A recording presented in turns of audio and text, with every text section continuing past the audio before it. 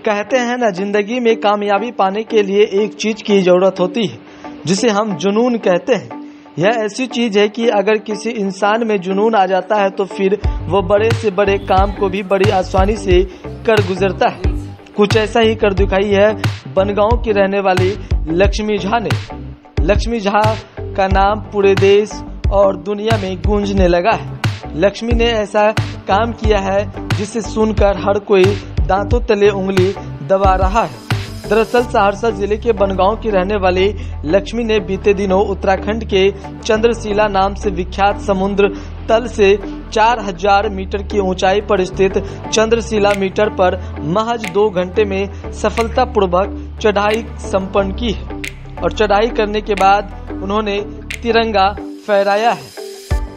आपको बता दें कि लक्ष्मी इसी वर्ष दक्षिण अफ्रीका के सबसे ऊँचे पहाड़ किली मंजारो पर तिरंगा लहराने वाले बिहार की पहली बेटी भी है।